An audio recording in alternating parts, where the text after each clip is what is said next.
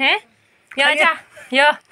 कुछ यो मैं ये सो जाओ वो कैसे फूल रखा So guys, ये है मेरी दादी।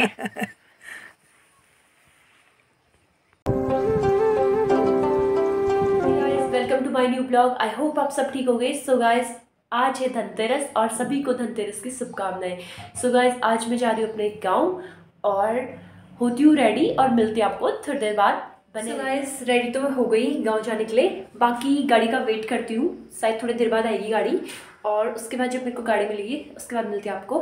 सो गाइस फाइनली गाड़ी तो मिल चुकी है। बाकी मिलता है आपको आगे रास्ते दिखाती हूँ।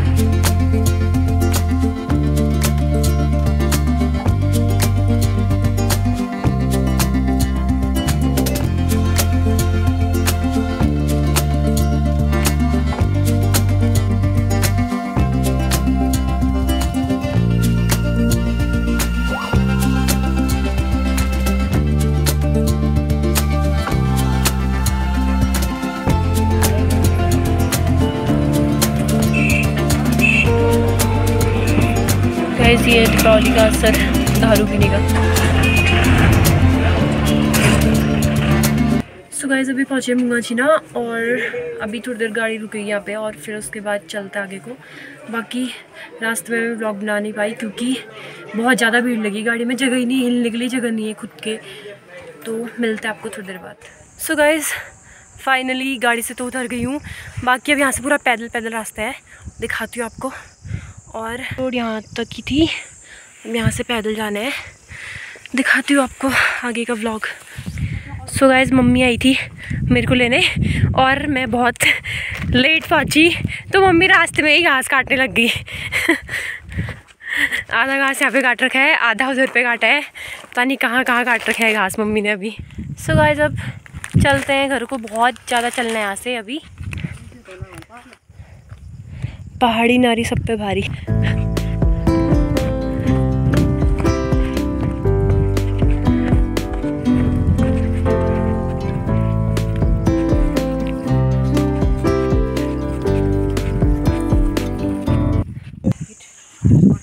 सल्ले का जंगल।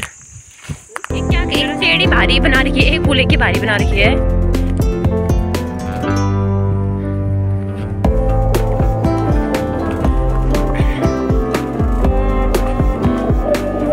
है, बहुत ज़्यादा पैदल चलना।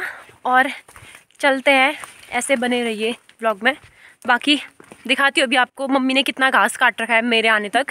क्योंकि मम्मी दो बजे आ गई थी और मैं वहीं थी मतलब कि रास्ते में ही थी। मम्मी को लगा कि मैं जल्दी आ गई, मैंने मम्मी से कहा कि मैं आ गई हूँ जल्दी। तो मम्मी को लगा कि हाँ आ गई होगी ये, पहुँच जाएगी जल्दी। और मम्मी दौड़ लगाते हुए पूरी चढ़ाई में आई ऊपर को। अब फिर उसके बाद मैं पहुँची नहीं थी तो मम्मी ने घास काट रखा है। दिखाती हूँ अभी आपको। आधा तो मम्मी ने पकड़ लिया, आधा और नीचे है शायद कहीं। वहाँ से पकड़ने वाली है। बाकी दिखाती हूँ आपको। रास्ते का कुछ भी पता नहीं है। अच्छा कान के कौन से? सो गाइस ये है मम्मी का घास। और नीचे गाय के लिए है और ऊपर शायद बकरी के लिए है वो घास। बाकी, चलो, देखो मम्मी को।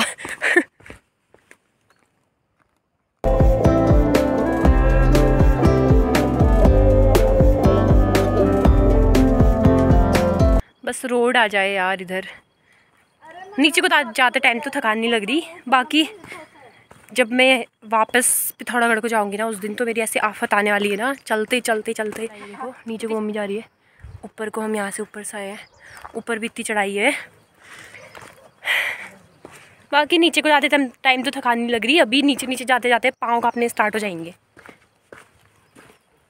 दो हज़ार बाईस चल रहा और सबके गाँव में रोड आ गई। पता नहीं कहाँ कहाँ के कांठे में भी रोड पहुँचे पहुँच गई है अभी तक। और एक हमारा ही गाँव है जहाँ रोड नहीं आई है, पता नहीं कब आती है। देखो, कितनी खड़ी चढ़ाई है अभी भी, पता नहीं कथा पे घर कथा पे बाकी, चलते।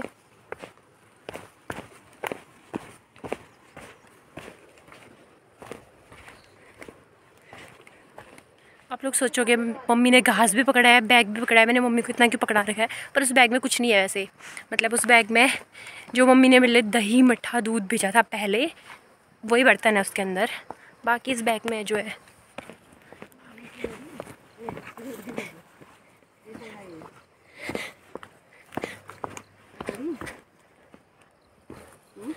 क्या? उच्चो, फिसलन उधर सो गाइज़ ये है कांडा गाँव और बाकी अभी एक दूसरा गाँव आने वाला है। दिखाती हूँ आपको।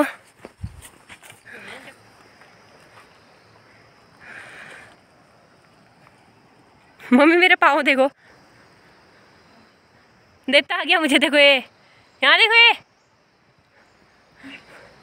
सो गए जो ये पीछे पेड़ है, ये है काफल का पेड़ और काफल अभी अभी नहीं लगते। ये लगते हैं अप्रैल, मई और जून में। और अभी तो ऐसे ही है पेड़। बाकी फल लगने अभी बाद में स्टार्ट होंगे, फरवरी, मई में। शायद इसमें फल लगने स्टार्ट हो जाएँगे। फिर उसके बाद पकने स्टार्ट हो जाते हैं अप्रैल और मई के बाद। बाकी अभी हम पहुँचे हैं जहाँ रोड कटी थी। दिखाती हूँ आपको। सो गाइस ये है रोड और पहुँच चुके हैं हम रोड के यहाँ पे। देख लो रास्ता ऐसा हो रहा है मम्मी फिसल के गिरने वाली थी अभी। ऐसे रोड़े हो रहे हैं इसमें पाँव रखेंगे तो फिसलेंगे हम। बाकी ये है रोड। राखी आई थी मैं घर। मैंने सोचा था कि राखी के बाद दीपावली में जब आऊँगी तो। क्या पता रोड सही हो जाए क्या पता सोचा था ऐसा बट देख लो, पहले राखी में भी मैं ऐसी पैदल पैदल आई थी और आज भी पैदल पैदल ही हूँ। पता नहीं कौन से ज़माने में आएगी रोड। मुझे तो लगता नहीं है रोड आएगी। कुछ टाइम बाद यहाँ पे भी घास उग जाएगी। पूरी रोड वैसी ऐसी रखी है। साफ़ तो होगी नहीं। बाकी ये रोड में पूरी घास उगेगी और रोड पूरी ढक जाएगी घास से कुछ टाइम बाद। लगता है मुझे ऐसा। जब रोड को कटे हुए एक डेढ़ साल हो गया और अभी तक नहीं बनी है तो फिर कभी बनेगी ये रोड अब? सो so गाइज़ ये है सौ गाँव और नीचे ये तड़खेत और बाकी अभी हम पहुँचे हैं भाटी गाँव में। यह है भाटी गाँव।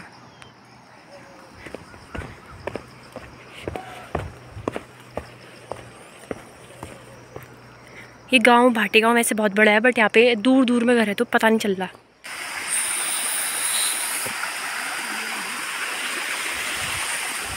रास्ता?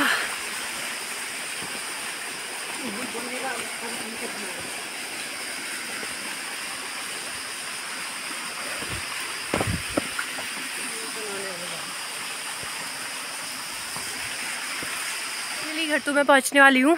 दिखाती हूँ आपको मिलाती हूँ अपनी दादी से। और मिलते हैं आगे।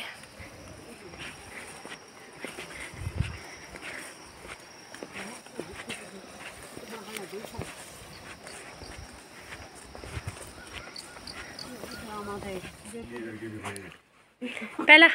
ये मन हिला आगे मिलिए अरे गाड़ी लेट आ। राजे होए। उठाते तारे क्यों हैं? या जा यो।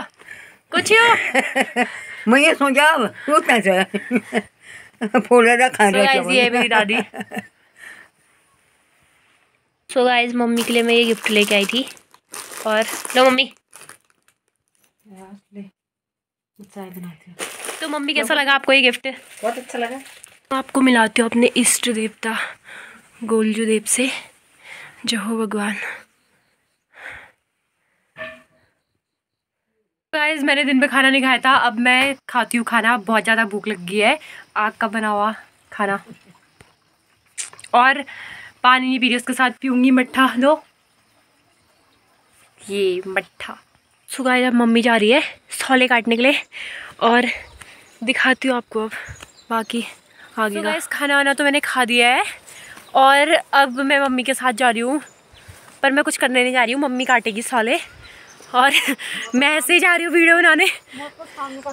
मैं कुछ काम क्यों नहीं कर सकती भाई सब काम आता है मुझे। आता तो सारे ही काम है। करना नहीं चाहते। करना भी नहीं चाहती। सो गाइज़ ये है केले के पेड़। और सो गाइज़ अभी चला है असौज और कार्तिक का महीना। और इस टाइम पे सूखी घास काटी जाती है, जिसको हमारे यहाँ गज्जो बोलते हैं। और जगह कुछ और भी बोलते होंगे बट हमारे यहाँ गज्जो बोलते हैं। और अब मम्मी जा रही है पेड़ में सौले काटने के लिए। खिनवे के सौले, खिनवे बोलते हैं उनको। सो गाइज़ मम्मी गई है पेड़ में अभी सौले काटने के लिए। और सौले काट रही है गाय के लिए। तो गाइज़ मैं आपको रोड दिखाती हूँ। यहाँ तक कट रखी है। अभी नीचे पे घर दिखाया था, घर से थोड़ा पास पे यहीं पे रोड है। पर वो रोड जैसे दिखेगी नहीं आपको दिखाती हूँ आप। गाइज़ ये देखो, ये जो आपको दिख रही है सामने पे मेरी उंगली की सिदाई में देखो, ये है रोड और ये रोड का ऐसा हाल हो रखा है, खाली कटाई कर रखी है, बस हो गया रोड की।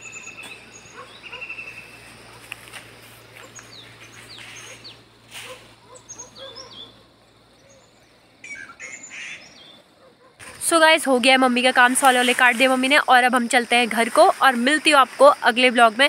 Please do like share and subscribe my channel और प्लीज़ बेल आइकन भी प्रेस कर देना, ताकि मेरी वीडियो आपको जो नई नई आते रहे, उसका आपको नोटिफिकेशन मिल जाए, और आप मेरी वीडियो देख पाओ। और चलो अब मिलती हूँ आपको अगले ब्लॉग में, तब तक ले सभी को बाय